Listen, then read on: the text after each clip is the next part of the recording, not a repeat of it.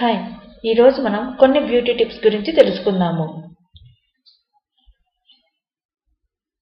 Cold క్రీమ్లు వాడని రోజులు మాత్రమే మృదువుగా ఉండే పాదాలు ఆ తర్వాత మళ్ళీ పగుళ్ళతో వేధిస్తూ ఉంటాయి.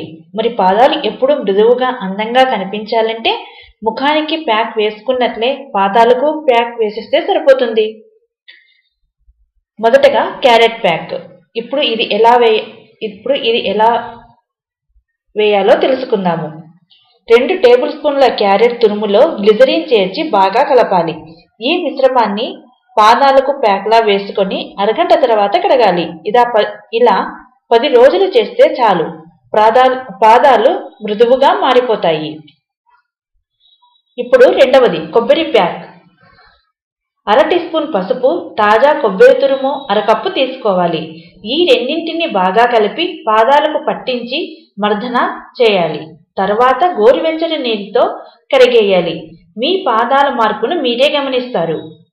ఇప్పుడు మూడవది కీరా ప్యాక్ కొందరికి చలికాలంలో సంబంధం లేకుండా కాళ్ళ పగుళ్ళు ఎక్కువగా ఉంటాయి. శీతాకాలంలో మరింత ఇబ్బంది పెడతాయి. మెత్తగా గ్రైండ్ చేసిన అరకప్పు కీరాను తీసుకొని అందులో రెండు స్పూన్ల బియ్యం పిండిని కలిపి రోజు పాదాలకు ప్యాక్గా వేసుకుంటే కాళ్ళ పగుళ్ళు తగ్గుతాయి.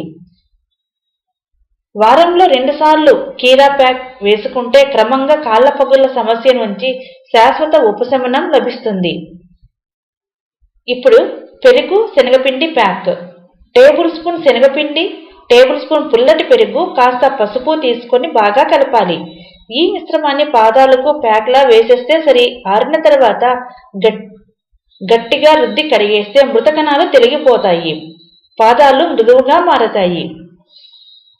ఇవండి ఈరోజు కొన్ని బ్యూటీ టిప్స్ తెలుసుకున్నాం కదా? మళ్ళీ వచ్చే వీడియోలో ఇంకొన్ని బ్యూటీ టిప్స్ తెలుసుకుందాము. ధన్యవాదములు.